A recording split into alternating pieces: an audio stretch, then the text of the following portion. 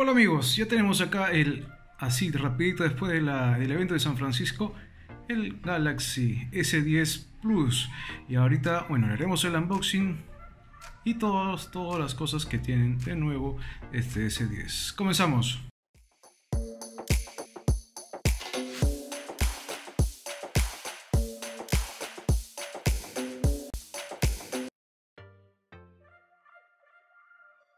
Como mencioné, este es solo el unboxing, así que y toda la experiencia completa ya en el review. Que bueno, vamos a darle un vistazo general.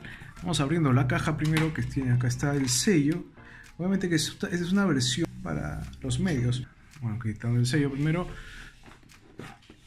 Y acá está. Bueno, gracias Samsung por esto. Hemos sido los primeros.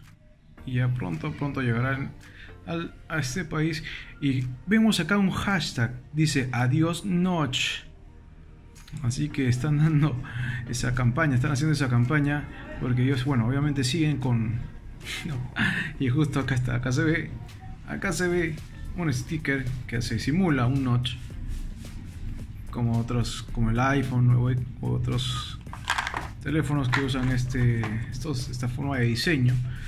El Samsung todavía, uh, es blanco, es blanco. Yo quería una, una María, pero no, igual estaba acá encontramos en la caja este cargador que es de carga rápida, Fast Charge, pero obviamente vemos que es la versión europea. Acá después ya veremos cuando que lleguen acá ya van a tener las clavijas normales, ¿no? esto vamos a recordar las versiones anteriores en que todos sus, todos sus cargadores, eh, audífonos y todo era blanco, así que parece que han vuelto un poco eso.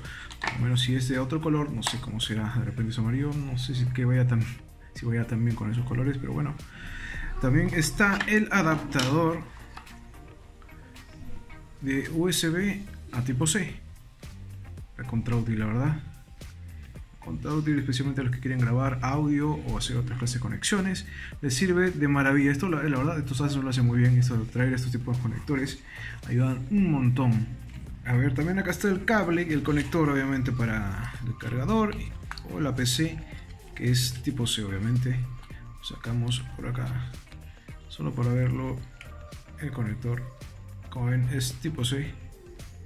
Y acá tenemos los audífonos que son AKG como ya sabemos también es empresa de Samsung. Vamos a sacarlos porque quiero ver el cordón de estos audífonos.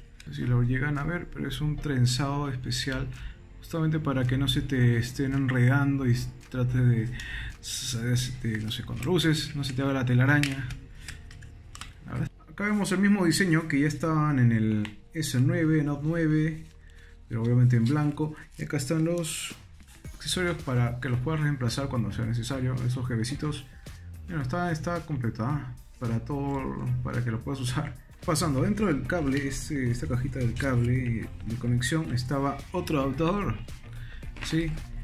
Es de tipo C al micro USB, el tipo B.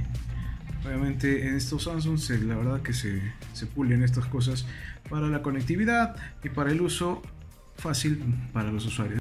Bueno, ya aprendemos el smartphone, el equipo. Acá estamos viendo el clásico logo de Samsung. Y acá vemos las tres cámaras. Obviamente para especificaciones, esperen un rato, esperen un, esperen un toque que va a ser en el review donde vamos a dar más información de todo esto. Modus aktivieren möchten, halten Aha. Sie den Bildschirm mit zwei Fingern so lange, bis Sie einen Signalton hören. Alemán no quiero, así que elijo obviamente español.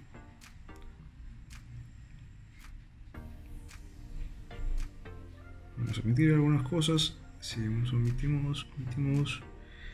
Acá podemos ver todas las opciones de seguridad que tiene, como reconocimiento facial, huellas digitales, el patrón PIN, contraseña, Obviamente ahora la huella digital está en la pantalla.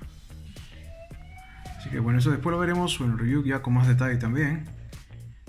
Después de ver muchas cosas solamente para que le dé un vistazo, un primer vistazo. Sí, creo que es un poquito más pequeño en dimensiones que los Note. Obviamente, pero es la pantalla se ve más grande. Obviamente ahorita le vamos a sacar eso. Quiero tomar una foto para, para el Instagram, así que también vayan a chequearlo. Pues ya veremos la calidad fotográfica de las cámaras. Estamos muy ansiosos de probar las cámaras, especialmente el modo angular. Acá vemos un vistazo a lo que, lo que es el patrón de huella en la pantalla. Está un poquito bajo. Y acá, bueno, acá está reconociendo.